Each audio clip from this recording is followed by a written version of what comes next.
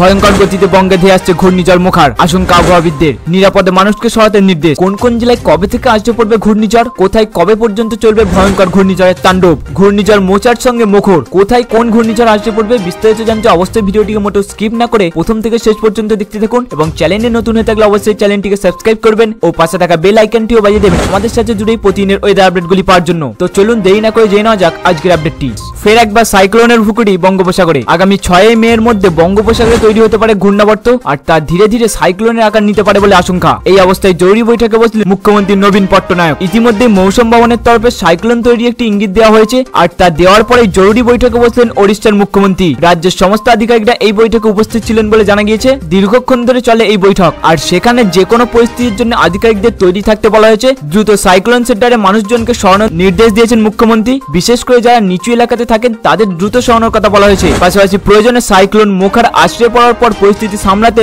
যোজনা তৈরি রাখার কথাও আধিকারিকদের জানিয়েছেন মুখ্যমন্ত্রী নবীন পট্টনায়ক। তবে গোটা পরিস্থিতির উপর নজর রাখতে বলা হয়েছে, মে মাসের দ্বিতীয় সপ্তাহে সাগরে বাসা বাঁধতে পারে ঘূর্ণিঝড়। সেই সম্ভাবনার বার্তা আগেই দিয়েছিলেন গ্লোবাল ফরকাস্ট সিস্টেম বা জিএফএস। এবার তাতেই ইঙ্গিত মিলেছে আইএমডির পূর্বাসে আইএমডির পক্ষ থেকে টুইট করে এমনই আপডেট করা হয়। তবে আইএমডির টুইটে স্পষ্ট নয় যে ঘূর্ণিঝড় তৈরি হবে কিনা। আইএমডি জানিয়েছেন, দক্ষিণ পূর্ব বঙ্গোপসাগরে একটি ঘূর্ণাবর্ত তৈরি হতে চলেছে। ছয় মে। ঘূর্ণাবর্ত তৈরি হওয়ার দুদিন পর, অর্থাৎ আটই মে, এটি নিম্নচাপে পরিণত হবে। তবে তা ঘনীভূত হয়ে ঘূর্ণিঝড়ে পরিণত হবে কিনা তা নিশ্চিত করা যায়নি। এর পাশাপাশি অন্য আরেকটি রিপোর্টে জানা যাচ্ছে, গভীর নিম্নচাপ তৈরি হচ্ছে বঙ্গোপসাগরে। প্রবল ঘূর্ণিঝড় হিসেবে আছড়ে পড়বে মোচা। বঙ্গোপসাগরে একটি নিম্নচাপ তৈরি হতে চলেছে, যা আগামী আটই মে গভীর নিম্নচাপে পরিণত হতে পারে। তা কি প্রবল ঘূর্ণিঝড়ে পরিণত হবে? আমফানের মতো বিধ্বংসী হবে কি? তা নিয়ে আজই মুখ খুললেন ভারতীয় মৌসুম ভবন। মৌসুম ভবনের তরফে বলা হয়েছে, আগামী শনিবার ছয়ই মে দক্ষিণ পূর্ব বঙ্গোপসাগরের উপর একটি ঘূর্ণাবর্ত তৈরি হতে চলেছে। পরদিন রবিবার সাতই মে ওই অঞ্চলে সেটি নিম্নচাপে পরিণত হতে পারে, যা সোমবার আটই মে গভীর নিম্নচাপে পরিণত হতে চলেছে। তারপর সেটি আরও শক্তি বাড়িয়ে উত্তর দিকে অগ্রসর হবে, এগিয়ে যেতে থাকবে মধ্য বঙ্গোপসাগরের দিকে। তবে সেটি ঘূর্ণিঝড়ে পরিণত হবে, তা নিয়ে এখনও নিশ্চিতভাবে কিছু বলা যায়নি। পাশাপাশি আবার ঝেঁপে বৃষ্টির সঙ্গে ঝড়ও আসছে কলকাতা সহ তিন জেলায়। কিছুক্ষণের মধ্যে বৃষ্টিতে ভিজতে চলেছে শহর কলকাতা।